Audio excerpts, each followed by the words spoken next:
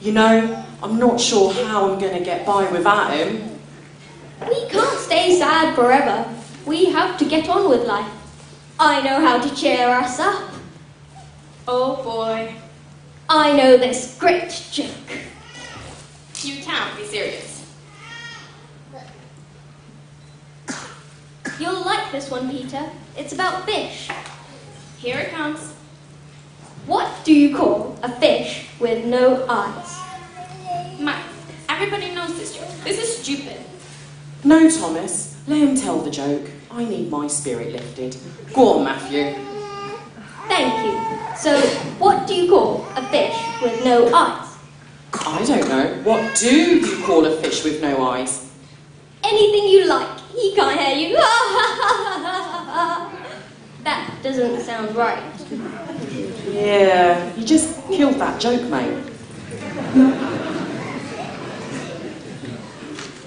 I miss having Jesus around. He used to tell some good jokes. Yeah. Friends, getting bored of eating fish yet? no, just kidding. you know, you saw me die on the cross, and I've risen again. I love you very much, and I've fulfilled the scriptures. I want you to spread the good news. Everyone is saved. Take care of yourselves. And don't do anything I wouldn't do. No, really. I'll see you all later.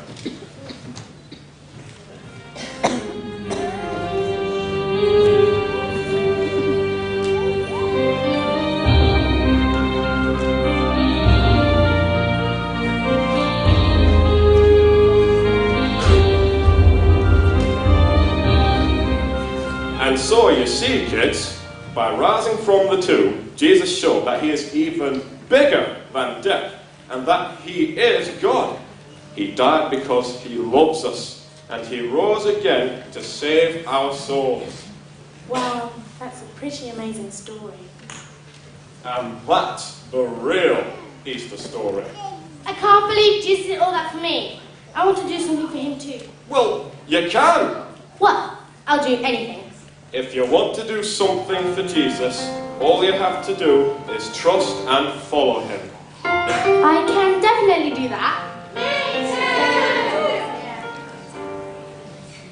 I will follow